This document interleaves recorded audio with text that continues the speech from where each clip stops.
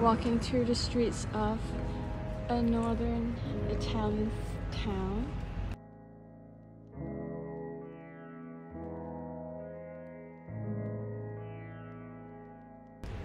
It's a beautiful day. The streets are all in marble because the quarries are nearby, so might as well use the natural stones that are here. The weather is just above 70s, low 70s. So this morning, my third day of doing cold showers. I have done cold showers before, but I've never done it in a continuous manner, just here and there. And on my own, I discovered an easy way to ease into cold showers. And it doesn't even hurt at all.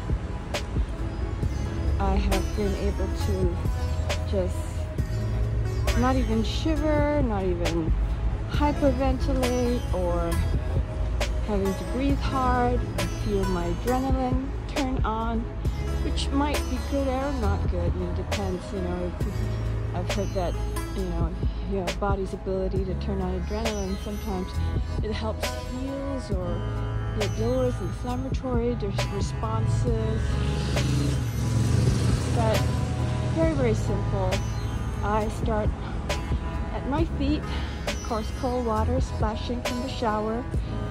I'm staying at a hotel which doesn't have a bathtub, which is fine because I do have an aversion towards bathtubs if it's not my own private one in particular. Making sure that we don't cross the street when there.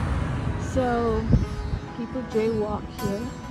We do have sort of right away. I know it's sort of it's still red, but I am looking. Even some locals are stopping for the red light. So I start splashing water on my feet and it's so cold here in the morning. I would say it's in the 50s and I'm sure the water is even colder than that. Um, so start splashing at my ankles and then going up to my calves. I'm just letting the cold water just splash on my skin till it feel, feels numb. And when there's no more pain, I move up to the next area, to my knees, to my thighs, and just splash the cold water over me until my skin gets numb. It's not cold enough that I feel, you know, piercing, sharp needles. I've heard people say that, and obviously, I, I think I've felt that in the past, though I've never really jumped into super cold water.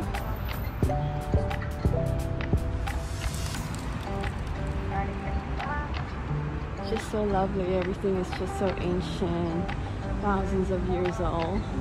Of course, the Romans were here 2,000 years ago in Italy. You can still see a lot of the impressions, historical buildings, that I should say aqueduct. I don't know whether they're drawing the water from aquifers. It might be from just springs or rivers and transporting them to where it needs to go. So I keep on working myself upwards and hitting my belly it is cold, of course I feel it when it first hits.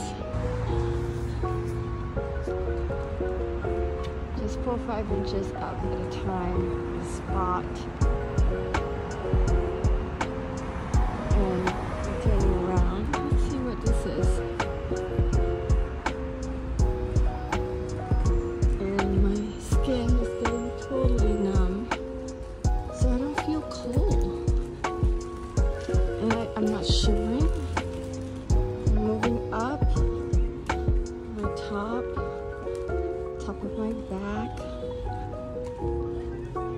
I do go over my arms.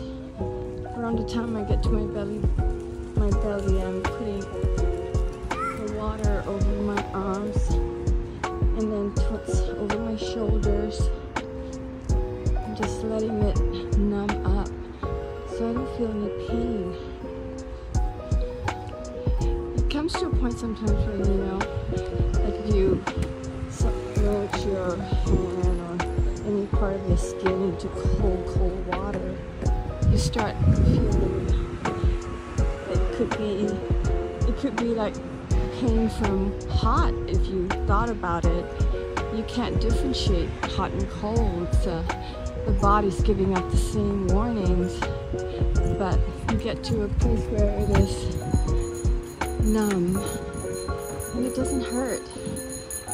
This and I've been slowly working up the shower head over my body and I'd say it's gonna be like five minutes. And I say I work, I stay on each spot for about a minute or so. Uh, letting the skin really become cold to the touch. I work myself up and then by the time I get to my neck, I wash my face. I am not shivering at this point. I'm not screaming. I have no need to scream. and it feels okay. And a lot of people finish off with turning to hot water and just rinsing off with hot water. This morning I had no need of that. And the pleasurable part is when I opened the shower door, I did not feel cold because my skin was already colder than the outside air and um, just wrapping my towel around me, drying myself off. It was really nice. I didn't have to be like jumping around, you know, coming out from a hot shower and feeling the cold air outside the shower stall. And I think the whole thing probably took about 15 minutes. So instead of the two minute minimum that people try to get, you know, when they take their cold showers. It's not all together, of course, 15 minutes for my whole body, but absolutely every part has been showered and has been sprayed with cold water for two minutes or more. So I'm really doing this, of course, because I have hopes of getting the benefits of cold exposure. I just love the Italians. The waits, the wait staff is so much friendlier than the Parisians. Can't compare to the French people in the countryside. I've heard that they're so much nicer less rude. And I have been rude too by some waitress in a restaurant in Paris. I try to go every other year to Paris and London every year. This year I haven't been to London yet, but it's still early. I'm moving to Lisbon and I'm going to be living in Lisbon for the whole month of April. I Can't wait to visit Portugal. I've never been there. I've just mainly done the same cities, London, Paris, Barcelona.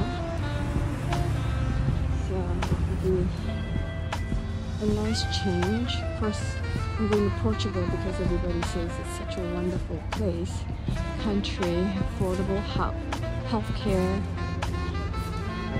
Course, rents are going up because we have all these expats, and they just say that they're going to take away the golden visa. So we'll see. So there it is, the benefits of cold exposure. and how I'm easing into it. I hope to do this for the rest of my life and definitely try to benefit from this. Say therapy. And I'm just so pleased with myself because it is painful. I've done it where I turn on the shower and jump, you know, and just expose my whole body to the cold water all at once. It's not pleasant. I mean, like, screaming a little bit.